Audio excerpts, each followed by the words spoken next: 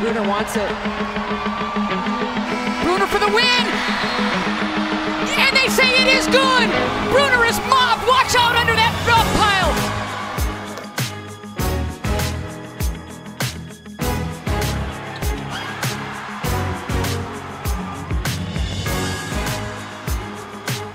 We won because we were so connected and we played for each other. When you play for a purpose that is higher than yourself, you give a lot more.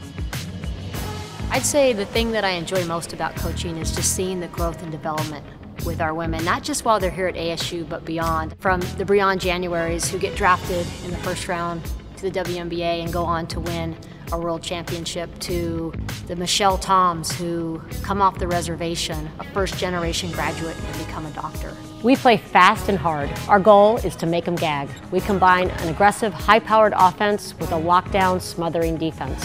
What our fans love and our opponents fear is how tough and disciplined we are. I came to ASU in 1996, and about five years later, we won our first Pac 10 championship. And from then on, we've been in postseason play every year but one. And we gradually went from the second round to the Sweet 16 to two Elite Eights. We're just waiting for our elusive first Final Four appearance, and, and truly the goal of this program is to, to be in the Final Four every year. We are a successful basketball program for a couple major reasons. Our coaching staff really sets the tone every day with their time commitment and what they give to us. They're always there for us no matter if it's on the basketball court or off the court. We have a lot of trust with them. We just play for each other. We don't care who gets the credit. We don't care who scores. We just care that we win.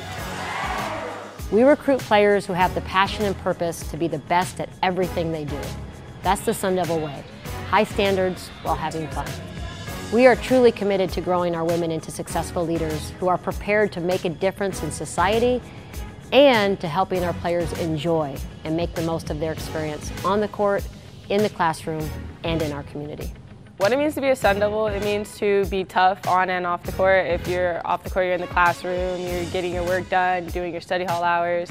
On the court, you're hustling for a loose ball.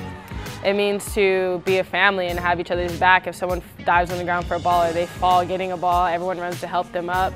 It also means to have fun and be positive every day. Just embrace what you have and be grateful that you get the chance to be here and to play and give your heart to your team. When we step into Wells Fargo Arena that seats 10,000 people, we absolutely feel how this community embraces our program. We truly have state-of-the-art facilities. Our own courts, our, our resources in terms of people have really allowed us to be one of the best programs in the country.